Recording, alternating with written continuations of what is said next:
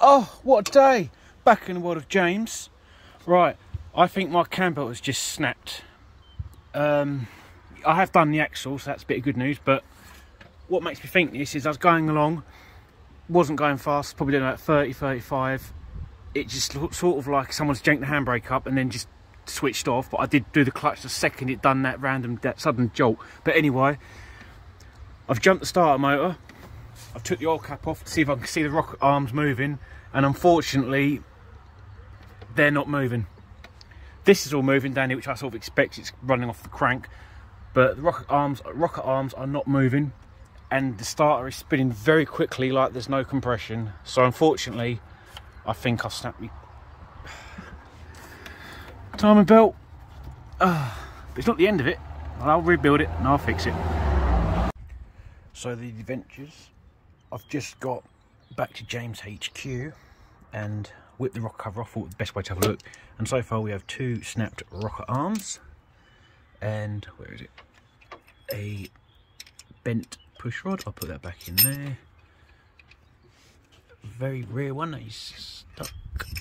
Yeah, that's kind of bent.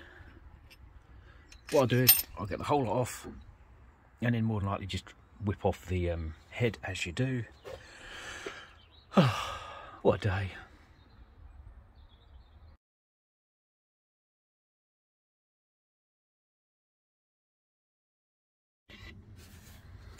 Literally in the process of taking out the coolant because I'll be reusing it. And as you can probably not see, there, nice and clean. Look at that blueness. I can't zoom in because my hand's kind of occupied blue.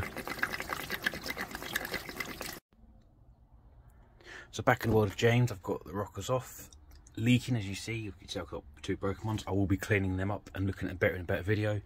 Will be push rods in order. And for the engine,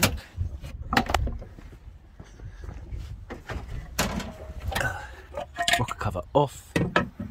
Looking down, you might see centre of the screen, the little goldy bit one of the ones back there, oh that one actually, it's slightly deformed so it is literally going to be a head off job. Stay tuned for more. Well, literally in the process of making sure it's all plugged up to remove the cylinder head. Oh, too hot for this.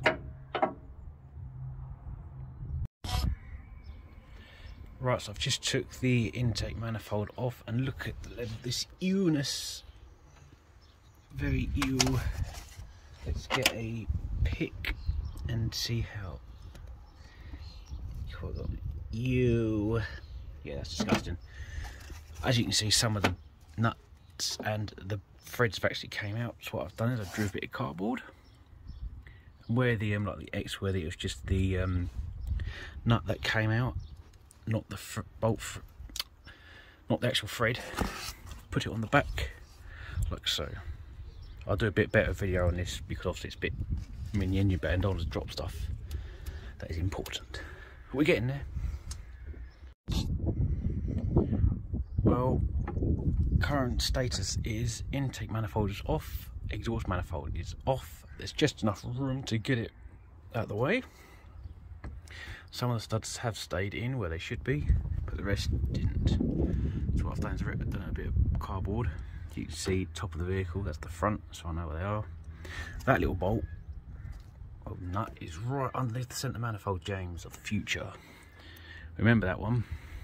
And the nuts that came off how it should be, I've just stuck on the back. So I've got all of the nuts and bolts. Well, the bolts and the bolt threads.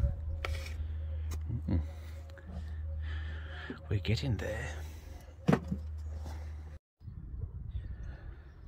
Cylinder head is officially off. Look at these powerful, powerful pistons that produce no power.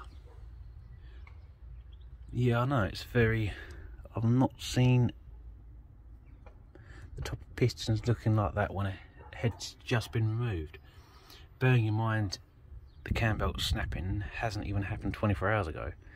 The I've took it off actually is because one of these, uh, mm, is that one? One of them when I was looking down looked a bit damaged, so I've took the head off to look at them properly. Will you focus? Probably not. Yeah, I believe it's that one. But as I'm here, I can check all of them. If they're good, they stay. If they're bad, they get changed. Oh, what a day.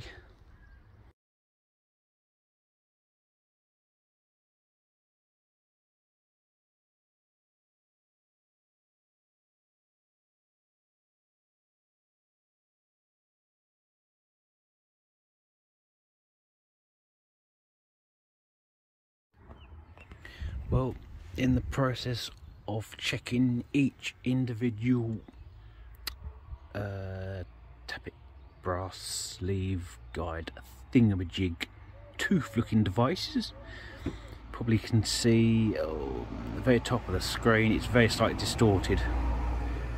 In order to change these change these you've got to get the head off hence why I took the head off because I could just about see down the hole of the push rod. It was looked suspicious. So I've got two more to do, to check, sorry. And then start ordering.